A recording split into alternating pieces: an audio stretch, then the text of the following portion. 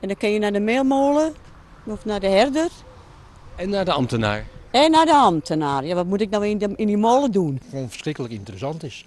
Als je dus voor de techniek gaat en dus gewoon voor het milieu. Het enige wat misschien nog interessant is, is de bliksemafleider. Het is jammer dat hij niet ingeslagen is. eh. Nou, nee, ik heb daar geen, eh, geen idee. Medemblik is op zijn minst verdeeld over rondleidingen in de meest omstreden windturbine van Nederland. Maar Meelmolen de Herder profiteert ervan. Want de opbrengst van de rondleidingen is voor het behoud van de eeuwenoude molen. Wij blijven in bloei doordat nieuwe molens ons gaan helpen financieel om deze molen in stand te houden. Het industrieel erfgoed moet blijven draaien. En wij doen er alles bij elkaar zoeken om draaiende te houden. Deze, dit bestaat al 600 jaar. Dat gaan zij nooit beleven. Dus wat dat er gaat voor de mensen. Het is 50, 60 jaar en is het weer over.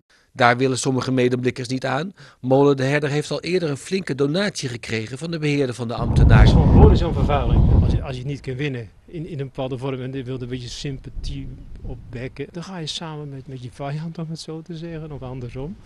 Medewerkers van de Meelmolen zijn al lang blij met het extraatje. Juist omdat er steeds minder geld is voor erfgoed.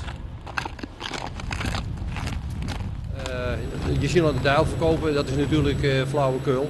Als mensen zouden moeten kiezen tussen eh, een windmolen wel of niet, dan zouden ze hem niet willen. Maar als je tussen windmolen en kerncentrale zou moeten kiezen, dan weet iedereen het wel. Dan kiezen we allemaal voor de windmolen. Ja, wat we hier gaan vertellen is eh, hoe ze hier dus energie opwekken met een hele bijzondere molen, de grootste van Nederland. Er zijn er nu meerdere gebouwd van deze afmeting, maar dit was de eerste van deze afmeting die ze hier hebben geplaatst. Ons eigen aangezicht verandert ook, dus ook het aangezicht van de stad. Dat is eh, de geest van de tijd, eh, die blijft voortgaan en dat, eh, dat raakt ons allemaal. Ik vind het heel indrukwekkend, de ruimte. Als je op afstand kijkt, denk je het is maar een molentje, maar op een diameter van 16 meter. Het is giga groot hier binnen. Is wel even wat anders dan al die touwen en die eh, klossen. hè? Ja, ja, ja, ja, ja, ja. Dit is heel iets anders. Dit is niks voor mij eigenlijk, want geef mij mee ha handwerkding maar. Dit is allemaal techniek waar ik totaal geen kijk op heb. Gauw weer terug naar de oude. We gaan gauw terug.